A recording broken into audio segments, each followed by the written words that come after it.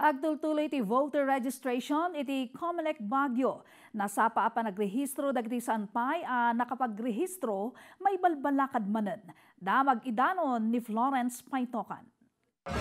Nasurok iti duaribo ti inaprobaran ti Election Registration Board ti Commission on Election Baguio kadagiti nagrehistro abotante iti syudad iti Oktobre aging ga Disyembre iti napalabas atawan.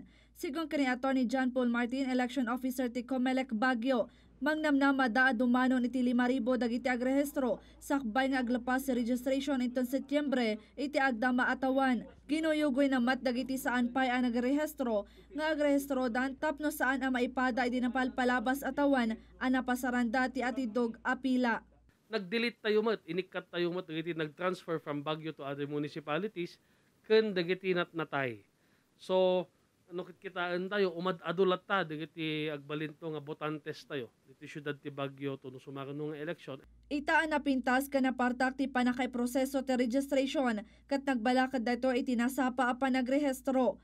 Kas panaganar iti COVID-19, mabalin a bisitahan ti Facebook page ti Comelec Baguio. Tap na ag-download kan ag-print ka dagiti form, sakbay nga agturong iti opisina da. Baban iti datoy kat may panamnama asaan ang malabsing, dagiti intuding ti IATF, apagalagadan seknan iti minimum public health protocols kan may pasigurado ti seguridad dagiti aplikante. Ang ceiling natin ngayon, it's uh, more than 100 per day, kaya tayong i-accommodate data.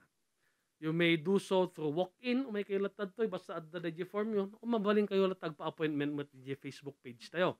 Florence Paitokan para iti pagilian.